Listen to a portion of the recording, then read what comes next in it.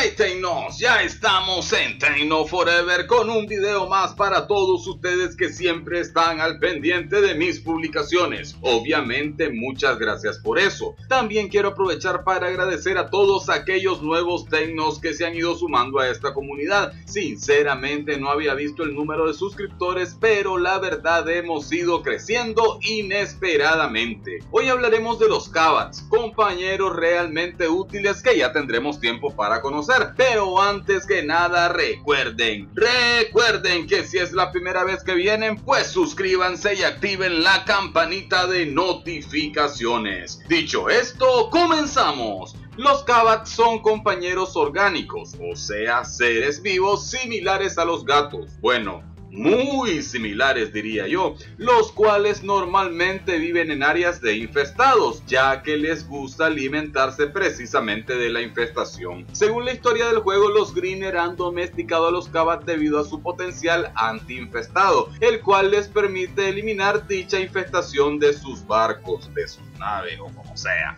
Para obtener un Kabat es necesario poseer nuestra incubadora en la nave, además tenerla equipada con el segmento de actualización de la incubadora Kabat. El plano de dicho segmento lo encontraremos en el laboratorio tecno de nuestro dojo o nos lo dropeará la maestra Yekas. Creo que así se dice, si no pues ustedes ya como lo entiendan. Una vez obtenido lo construimos en la fundición y posteriormente lo instalamos. Sumado a esto necesitaremos un total de 10 códigos genéticos Kabat y un núcleo de energía de incubadora. Los códigos genéticos se obtienen al escanear Kabat salvaje con un escáner del códice o un escáner de síntesis. No obstante, esto es totalmente aleatorio. Para esta tarea debemos ir a misiones de, relicto y en mi caso normalmente lo hago en captura o supervivencia. Un dato importante a saber es que los Kabats salvajes son naturalmente invisibles y no son hostiles a los jugadores, a menos que se escaneen. Aquí una buena opción es usar Warframes con habilidades de invisibilidad o control. Ustedes sabrán con cuál les va mejor. Una vez reunamos todo lo necesario, la incubadora nos dará la opción de comenzar una incubación aleatoria o usar improntas.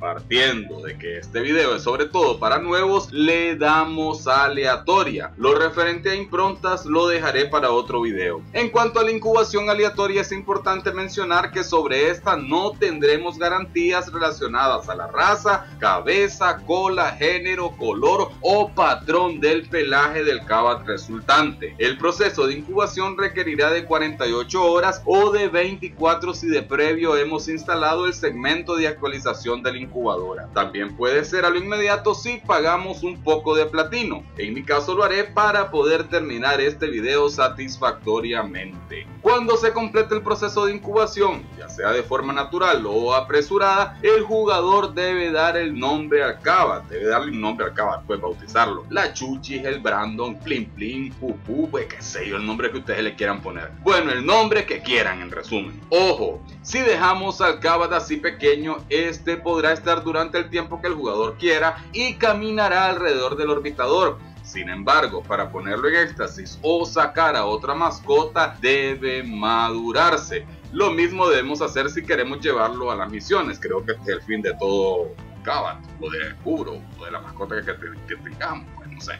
Esto se hace manualmente en la incubadora. Dicho proceso es instantáneo, pero no perdamos de vista que una vez maduro, el Kabat comenzará a experimentar una degradación diaria de la estabilidad genética, por lo cual debemos estar siempre atentos a este detalle para garantizar que se desempeñe de la mejor manera posible durante las misiones. Por si acaso se preguntan qué es la estabilidad genética, pues se refiere a la vitalidad física del Kabat que afecta afecta a su salud máxima. Esta degradación se puede contrarrestar mediante el uso de estabilizadores de ADN disponibles por créditos en el mercado. Finalmente hemos de saber que producto de nuestra incubación podremos obtener cabas de raza Smita o Adarsa. Además existe otro llamado Venari que es el cava de especial de la Warframe Cora. De cada uno estaremos hablando en posteriores videos. Hasta aquí el video, jóvenes Tecnos. Me encantaría que me cuenten acerca de su experiencia con los Kabats, cuál consideran mejor, cuáles son sus estrategias, en fin, todo lo que pueda ayudarme para videos futuros. Muchas gracias por dejar sus likes y comentarios. Inviten a sus amigos de juego o de clan a suscribirse a Tecno Forever y como siempre, nos vemos pronto.